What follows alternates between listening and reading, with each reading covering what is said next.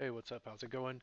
So I've got this code from the Programmer's Brain book. This is example code from early on in the book of an example of something that is difficult for the human mind to process because of bad naming and certain things like that in the code. So all this code right here, from here to there, this is all their code verbatim out of the book, I believe. And then there was a return statement down here that's not needed, so I removed it and I went ahead and initialized this n variable right here to 19 so that it doesn't run on an infinite loop on QBasic. So I'm just gonna, what this code's supposed to do, just so you know, is it's supposed to convert an integer number into its uh, binary representation, a binary string. Okay, I'm gonna run it, and the, it's down there at the bottom of the screen, right between uh, QBasic and pressing the key to continue. You can see there's nothing, there's just blank. So no output there. Understandable.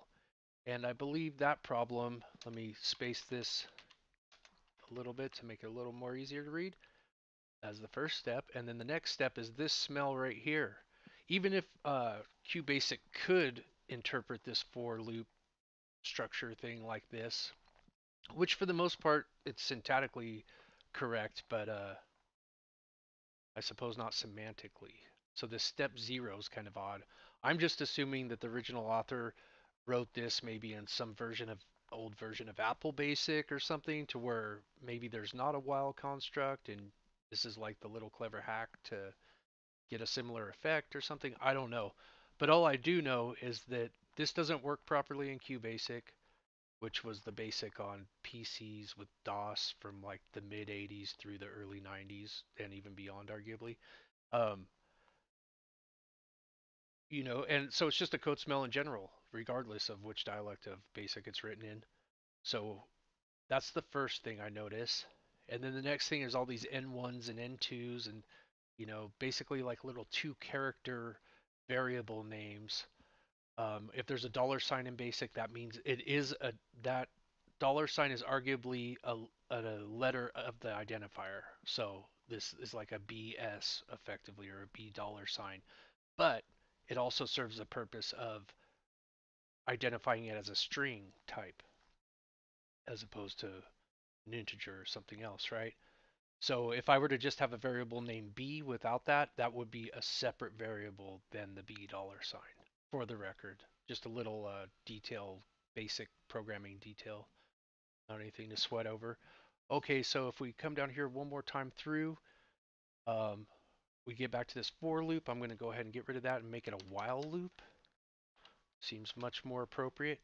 And I'm going to say while originally that was testing both the um, the n2 and it was also creating and a, uh, sorry I don't have it undo but it was creating a n1 variable it said for n1 equals n2 2 0 step 0 so that 2 0 lets us know that as long we we want to do this until we get 0 so while n is greater than 0.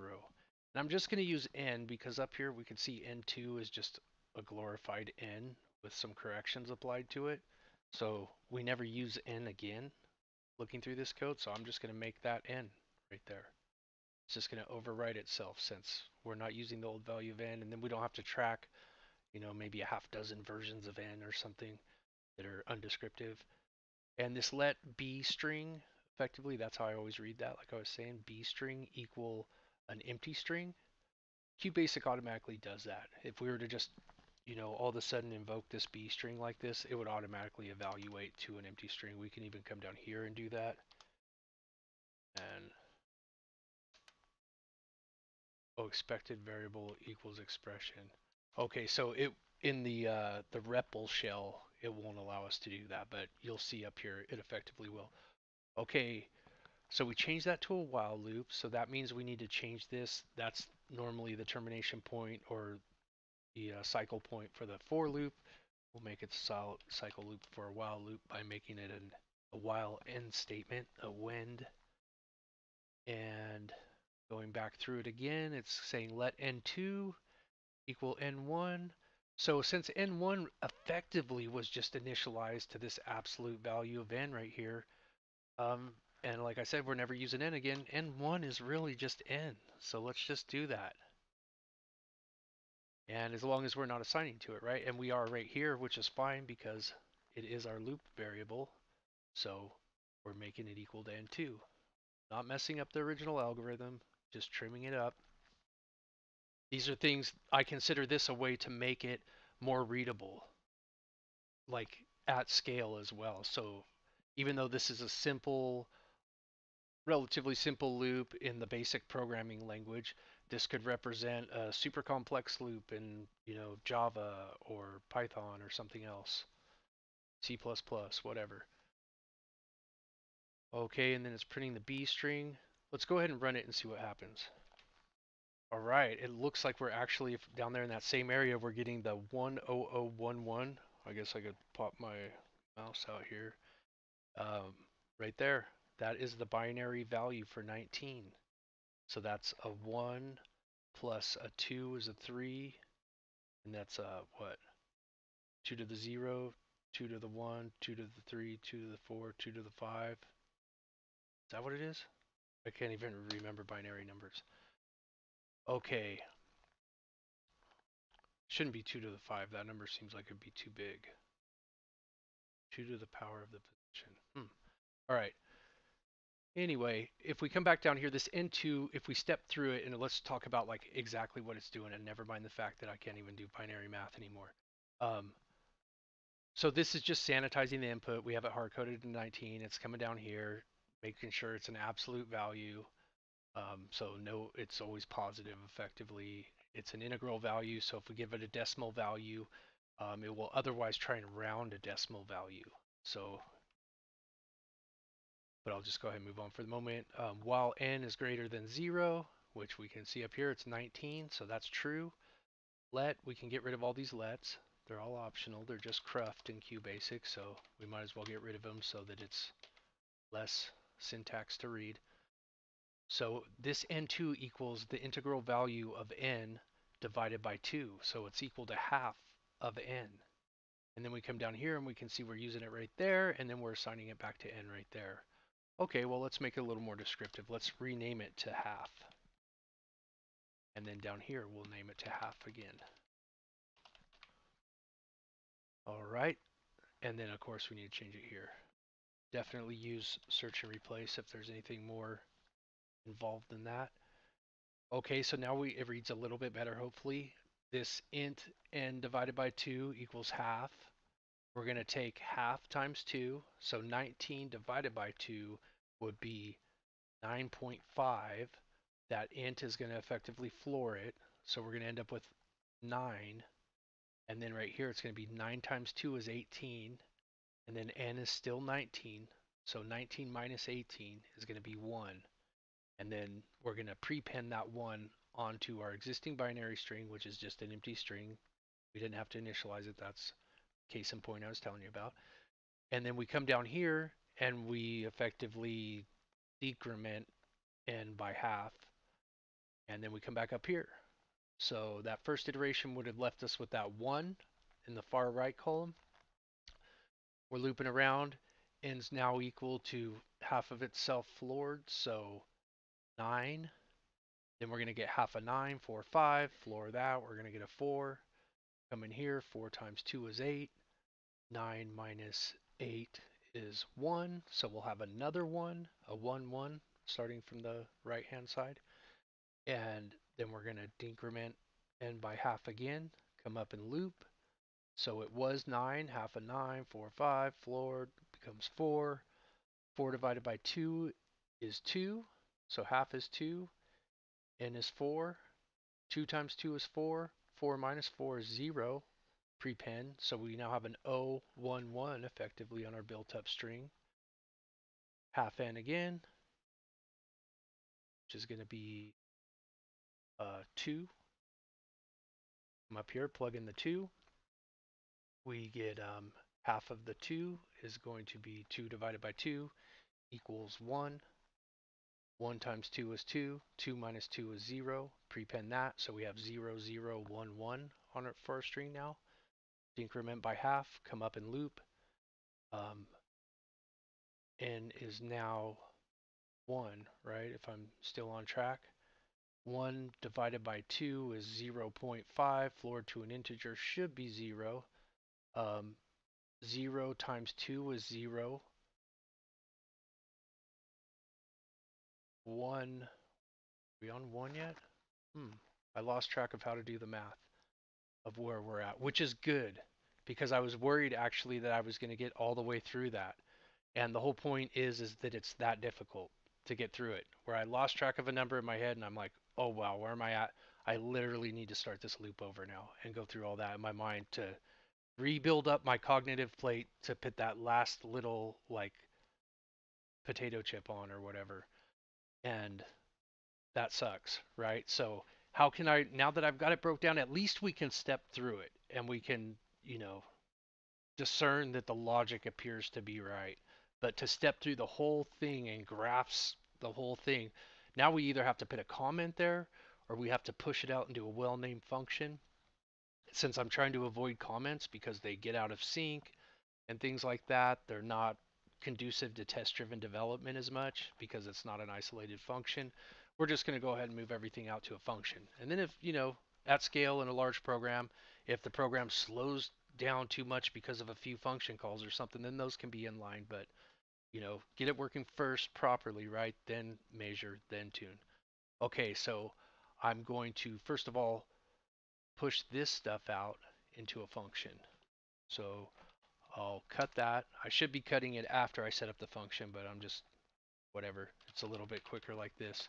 So function, and that stuff is uh, that's the hard-coded number so instead we're going to go ahead and get a number from user, but make it a well-named and properly spelled function that actually describes like almost as a comment would, you know, what it's going to do. And then in basic, just like with that string, you can also append a percentage symbol, which implies or specifies that you're going to return an integral value. So that's just some syntactical stuff to know about there. Not a big deal. Okay, so I'm going to come in here and paste that stuff that I cut out, which was this guy. I'm only doing two spaces. Let me, I don't think I can, oh, I can. I can tab and shift tab. Let me see if I highlight them both. Tab. Oh, nice. I didn't realize I could do that. Okay, but I'm trying to stick to two spaces right now to keep it consistent. Okay, so n's hard-coded to 19. We don't want that. What we want is we want to call the input keyword, pass it the prompt of enter a number, and then we want to store whatever they number, or excuse me, whatever they enter into n. And then we're going, we can go ahead and bring in down here, make sure that it's, um, you know, floored to an integral value, non-negative, and then store it back in itself. Or you know what, right here we'll actually just say get number from user percent. So what we're doing is we're saving that over the name of the function itself, and that's how you return a value from a function. So let's go back to the main program, and let's call that, that's get number from user percent sign, and we need to store that in something. So it looks like we're the way the program, just stay consistent. We're storing that in. Let's see if it still works. Okay, so down at the bottom of the screen down there, you can see it's asking me for a number. I'm going to put in 19, and bam, it still is giving me the same result. What I'm going to do too now is I'm going to add a CLS up here. And what that does is that clears the screen. It just makes it a little easier. So when we run it, we can just go 19 like that and have a nice clean canvas to work with. Okay, back in action.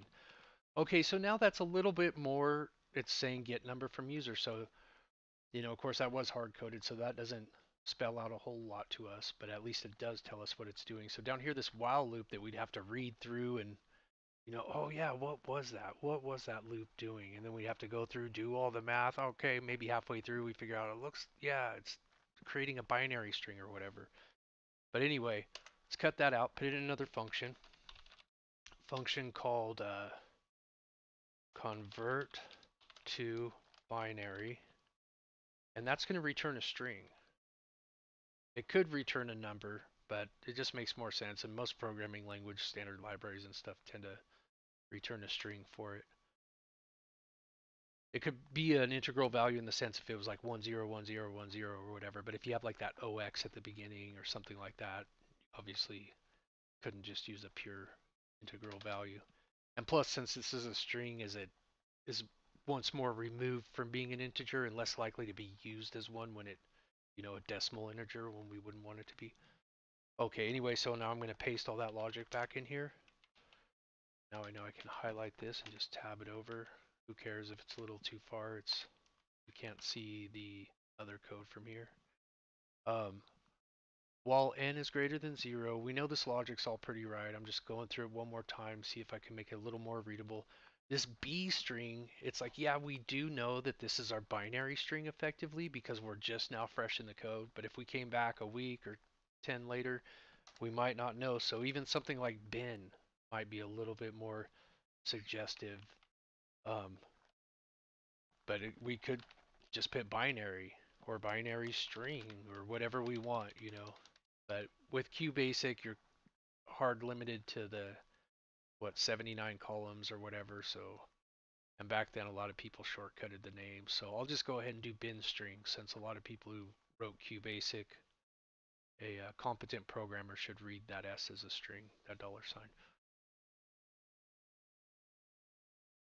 Okay, it's doing all that, that, and one other thing I did here one of the times when I was practicing this was I converted this to the word decimal. Which reminds me I need to bring in a parameter here. Decimal, and we'll make sure that that's an integer. Or actually, let's see if we can get away with it not. By putting that percent sign, it specifies specifically that it's supposed to be an integer, but we can also leave it off. So I have decimal there. Everywhere I have it in, I'm replacing with the word decimal, which reminds me this is the, the original base 10 value. This is not a binary value.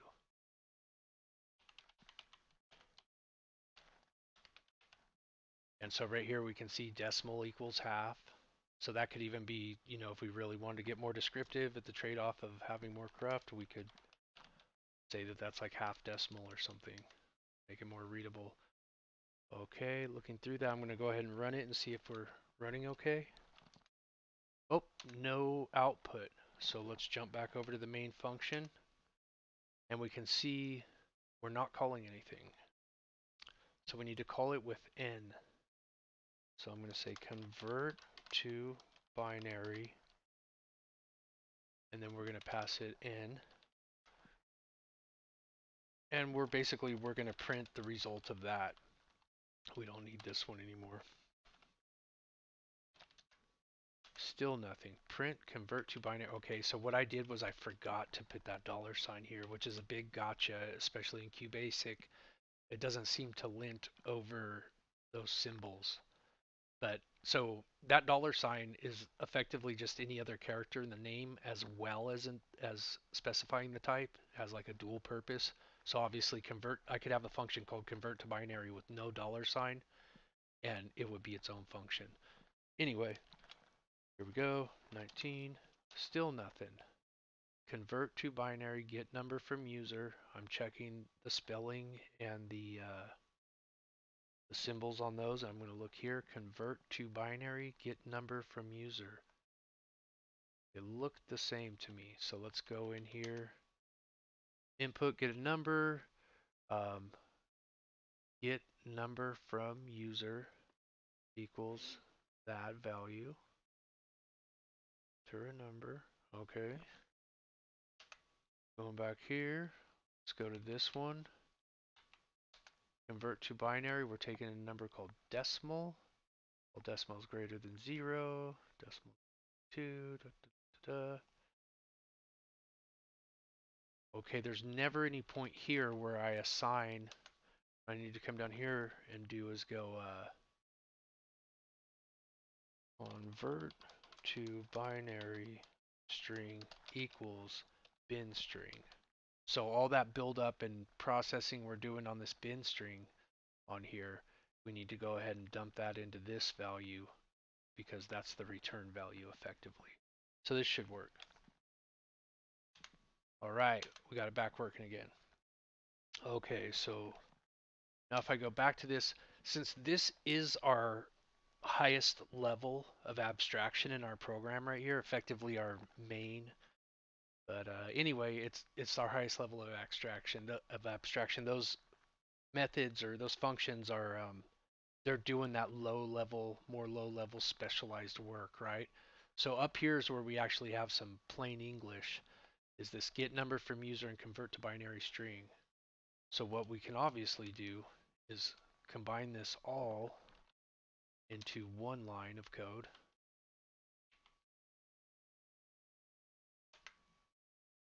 Like this. So convert to binary, get number from user, print. Little out of order, but for the most part says what it's doing. Let's see if it works. Still working. Okay, and the reason, I don't know if I mentioned it, but the reason I'm using 19 is because these, uh, this 1, 1 over here on this side, if you do other numbers, it can be difficult to tell certain things about it. But since there's a 1 1 on the right hand side, if for some reason we were processing it backwards and there was a 1 1 over here and an 0 1 over here, that'd be like a dead giveaway that something was wrong. Um, and also the number's greater than 16. So it's helping, you know, beyond four binary digits, which is like basically at eight binary digits, or excuse me, eight bits, 16 bits, different points like that are good. It's kind of like testing um, negative one, zero, positive one. But anyway, this one's just above the value 16, so it's just above a four bit value. Not one above, but several above a four bit value. Okay, anyway, not something to dwell on too hard, but just to give some reasoning behind that. So right here, we're printing all that, but if we read it, print convert to binary, get number from user. So what if we just rename this to number from user? And then it said convert to binary, number from user. That to me reads better. So since I haven't published this interface, um,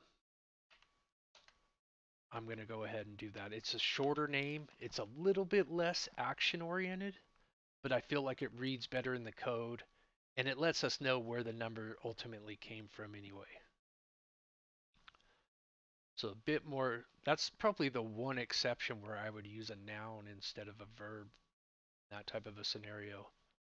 But I'm definitely open for feedback on that. So one more time back to the main function. So we have print, convert to binary string, number from user. Run it. Let's do a different one like 9. Nine mm-hmm. didn't work. What did I do wrong?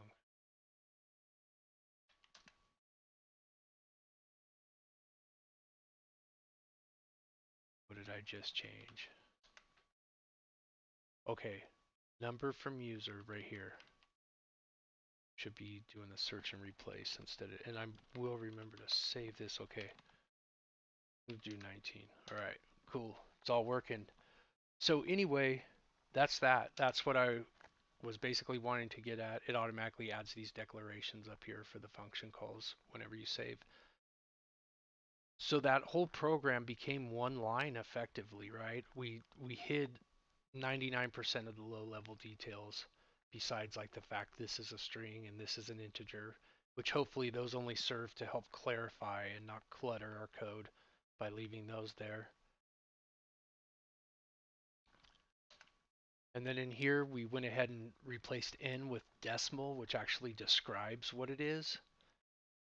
n2 with half, also describing. It's a shorter word, um, but it's also in a very small context. So that's one of our excuses we can get away with by saying only half here is it's like, ah, it's literally within three lines of code, right? Um, if it was much more than that, we might want to be have a longer, they say the name, when you're on the fence, the name should fit the scope as far as the length and detail of it. Yeah, and then we're assigning that back. If we wanted to, we could use convert to binary as the string value here and build it up. But I feel like bin's shorter and sweeter and a little bit more to the point maybe. And then finally, we'll go take one more look at number from user, getting the user input, storing it into n, and doing all the sanitization, which this could represent other function calls, which it does in this case, obviously, but you know, more and more function calls, all sorts of stuff. That line could unpack to like a paragraph worth of code or something, right, in a bigger program. And the same thing with this. This could be calling out to some other module to deal with user input through a dialogue or something. So anyway, sorry to be all long-winded about it. That is uh, how, in general, I think that you know doing refactoring out to some little functions and making things well named can really help the program read and put things at the right abstraction level from where you're working at. Thanks for watching.